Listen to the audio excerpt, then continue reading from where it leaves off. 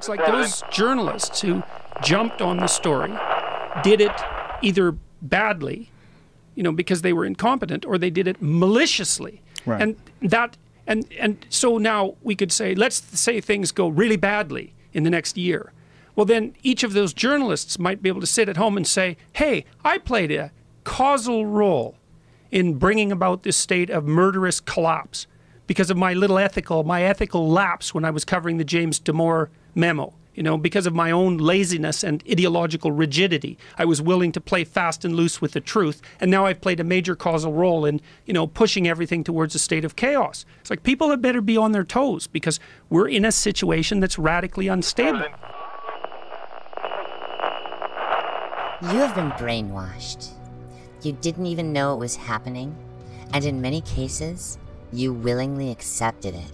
And that thought right there, telling you I'm wrong, well, perhaps you don't realize how deeply societies have been affected by the fall and diaspora of the Soviet Union and spread of postmodernism.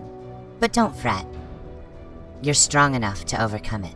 Leaders of church sometimes say, well, violence for the sake of justice, especially social justice, is justified in the countries like Nicaragua, El Salvador, well, maybe Rhodesia. And we listen to them and say, yeah, probably it's true. Is it true? No, it is not true. Violence is not justified, especially for the sake of quote-unquote social justice introduced by Marxist-Leninism.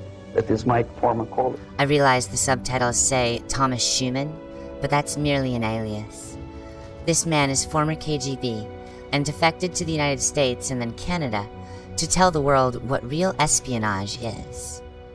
And in the process, he predicted rather perfectly the events that we are seeing today. Okay, law and order now also is uh, pushed into the area where previously people settled their differences uh, peacefully and legitimately.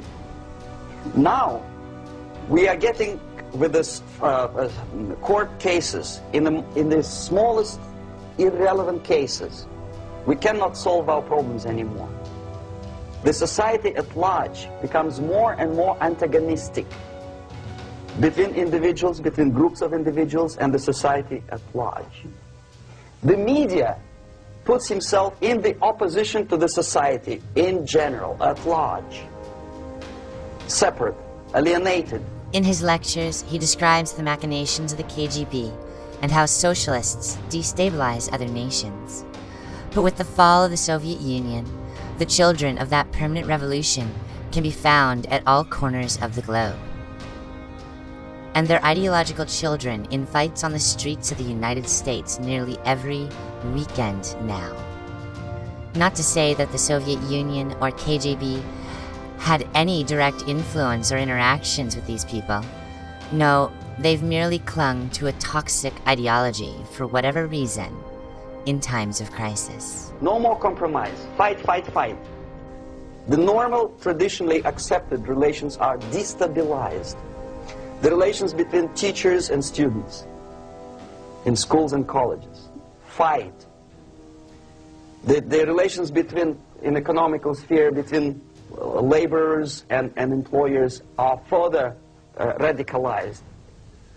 No more acceptance of the legitimacy of demands of workers. You see, the problem isn't that postmodernist Soviet ideals came here after the fall of the Soviet Union, but rather that they had been here already for some time. It's so benign in nature. The erosion of work programs for the homeless or destitute within so social programs. The focus on equality rather than merit, accomplishment, and competition to the point where some people are more equal than others, and everyone gets a trophy. The constant influx of culturally destabilizing propaganda from nations like China in our movie theaters and on our televisions. The communist sympathetic educators and the giant gaps in historical education, filled by courses like sex ed and home ec, things that should be taught in the home as part of the culture and history of a people and is instead sterilized and centrally controlled. and socialist lawmakers who take that education, that destruction of their ability to reason, into a position of power. Okay? On that stage, you remember I was talking uh, a, a couple of hours ago about the sleepers. That's when the students from, say, United States, if they're trained in, in Lumumba University, or developing nations, that's the students I was dealing with, are being sent back from the Soviet Union here. Or if they were already in the United States, in the country, which is an object of, of subversion, they spring to action. The sleepers go up. They slept for 15 to 20 years. Now they become leaders of groups, preachers, uh, I don't know, public public figures. Prominently, they act. In, they actively include themselves in a political process. Makes you think the blue checks and the so-called journalists out there, doesn't it? But it's not just public figures. Teachers and universities, unelected committees, social workers and foreign lobbyists, masses of ideologically charged people, the self-appointed rulers of your opinion who say they know how to run a society, all violently or coercively demanding the change they see as the only option through their ideological lens, and further deepening the crisis they would wish to avoid. When the Greyhound uh, network was on strike recently, the correspondents of local TV networks uh, all over the United States were approaching these strikers and they say, oh yes, we are doing something nice. They looked like heroes and they were proud. There was some family, uh, the husband was a bus driver. Now they decided in, in, in, in a protest against the uh, uh, bosses to camp somewhere in the forest. And they were presented to the, to the audience as, as a heroic, nice people. You see? The violent clashes between passengers, picketers, and, and the strikers are presented as something normal. 10, 15, 20 years ago, we would, we would be uh, we would be angry, say, why, why, why so much hatred? Today we are not. We say, well, commonplace. Radicalization, militarization sometimes. As I explained uh, uh, on that stage, I, I took a step a little bit further. But why? Why are these ideals so un-American in nature, so violent and dangerous? Also so welcome to the children and young adults of America, regardless of political affiliation. Why is it that Nazism could be considered so much worse than communism and socialism, when they are both all ideologies which have only ended in mass murder? This is a question Dr. Peterson has been dealing with for quite some time now. They they were united under the banner of the hammer and sickle and were calling for revolution. And what was so interesting about that, and I really mean technically that it was interesting, was that the mainstream media said virtually nothing about the fact that these, let's call them counter protesters, I don't know exactly how you'd term them, had come out under this murderous symbol. And that's made me think, like, I can't figure out why the swastika is an immediate identifier of a pathological personality and the hammer and sickle isn't. There's actually a reason. It isn't just arbitrary. Uh, and I think maybe it's something like the Nazi is the guy who knifes you in the alley and steals your wallet, and the communist is the white collar criminal who, who takes your pension.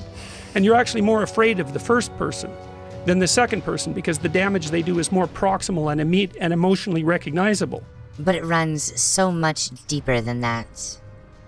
It's not that the hammer and sickle is more trustworthy up front, but rather that we have, as a world, been educated to see that a hammer and sickle as a symbol of the people when it is really a symbol of a centralized, authoritarian government that couldn't care less about its people if it tried.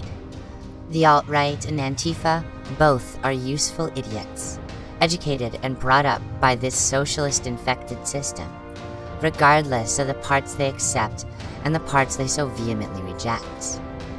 But they're not the only ones. After all, we went to school with them we shop at the same malls and watch the same television as them. We have shared this nation right up until the point at which we all decided we couldn't. But it's not all we have. Dr. Bret Weinstein, evolutionary biologist at Evergreen University, spells it out better than I ever could. First of all, there's a lot we can do. And Sure. in fact, you know, one of the other things about, about the evolutionary toolkit is that I believe we have exactly the tools for navigating this puzzle. They're built into us also, in addition to this latent program. Um, but we are now in a very dangerous situation because, for example, uh, if Google and other of these online Goliaths start uh, deploying algorithms that decide what we get to talk about and see, then we cannot use the very tools that are necessary in order to escape um, and avoid something like civil war, which frankly, Open I- communication and debate, analyzing all the components of this issue completely objectively. exactly. Yes, and taking the risks that are necessary with that. And some of the risks are that if we have free and open communication, that some percentage of that communication is going to be reprehensible and deplorable.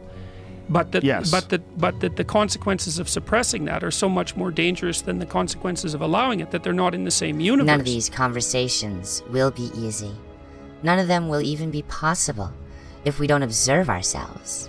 Not look inside or meditate or any other external philosophy.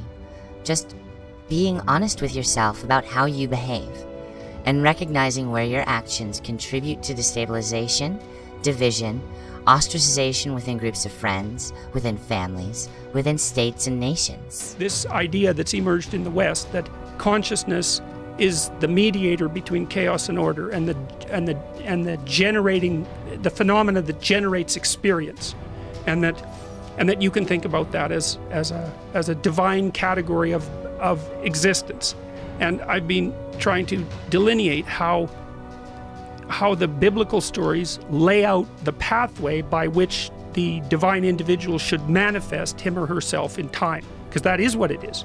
And I and I, I've, I've, I've been studying, for example, the Abrahamic stories, which I didn't know well, and the Abrahamic stories are really interesting. I mean, Abraham is called by God, and when Abraham is called by God, he's old. He's like one of these guys who's 40 years old and has stayed in his mother's basement. That's that's Abraham.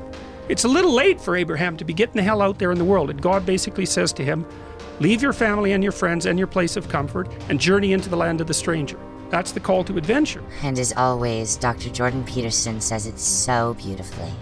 Like a romanticist who loves knowledge and wisdom rather than eschews it. And it goes to a greater subject of Dr. Peterson's interests the hero's journey. The hero's journey is repeated throughout religion and philosophy and fiction in so many varieties of ways, but it always meets specific narrative points. The call to adventure, refusing the call, divine intervention, crossing into the belly of the whale, the trials and tribulations, atonement and apotheosis, and finally the return home to share what has been learned. It's just as easily misused and misunderstood as it is used and understood, and it can be so easily to lie to yourself that you're on such a journey. But only by crossing that threshold, out of your comfort zone and into the challenges and temptations of life, by failing and falling into that abyss, only to find yourself reborn and renewed within a few days, it's the only way you'll ever be able to see what you're truly capable of when left only to yourself. And trust me, you're capable of quite a lot. And you can call me a hypocrite, you can call me a number of things, but it doesn't really matter if you do. If I fuck up here, and again, when I fuck up, it's always huge. But even when I try to flee to comfort, that comfort will never suffice. The only choice in this time of crisis is to challenge oneself and discover just how strong you really are. To overcome the cognitive dissonance you've created in your mind between what you know is true and what you have been convinced is true. Otherwise, you're just another useful idiot. Uh, the KGB was even curious about this gentleman. It may look innocent. Maharishi Mahesh Yogi, a great spiritual leader, or maybe a great charlatan and crook, depending on which, from which side you are looking at him. Uh, Beatles were trained at his ashram in Hardwar in India how to meditate. Mia Farrow and, and other uh, useful idiots from Hollywood visited his um, school and they returned back to, to United States absolutely zonked out of their minds with marijuana, hashish, and crazy ideas of meditation. To meditate, in other words, to isolate oneself from the current social and political issues of your own country. To get into your own bubble, to forget about troubles of the world. Obviously, KGB was very fascinated with such a beautiful school such a, a, brainwashing center for stupid Americans. I was dispatched by the KGB to check what kind of VIP Americans attend this school. That's you on the left. Yes, I'm on the left. I, I, I, was trying to get enrolled in that school. Unfortunately, the Maharishi Mahesh Yogi asked too much. He wanted 500 American dollars for enrollment. But my function was not actually to get enrolled in the school. My function was to discover what kind of people from United States attend this school. And we discovered that yes, there are some influential members of family, uh, uh, public opinion makers of United States who come back with the crazy stories about Indian philosophy. Indians themselves look up upon them as idiots, useful idiots. To say nothing about KGB, who looked at them as, as, as extremely naive, misguided people. Obviously, a VIP, say a wife of, of, of a congressman or, or a prominent Hollywood personality, after, after being trained in that school, is much more instrumental in the hands of, of manipulators of public opinion and KGB than a normal person who, who understands, who, who, who looks through this, this, uh, this, this type of, of uh, fake religious training. Why would they be more susceptible to manipulation? I just mentioned that because you see, a, a person who is too much involved in, in, in, in introspective meditation. You see, if you carefully look what, what Maharishi Mahesh Yogi is teaching to, to Americans, is that all, most of the problems, most of the burning issues of today can be solved simply by meditating. Don't, don't, don't rock the boat. Don't get involved. Just sit down, look at your navel, and meditate. And the things, due to some strange logic, due to cosmic vibration, will, will, will settle down by themselves.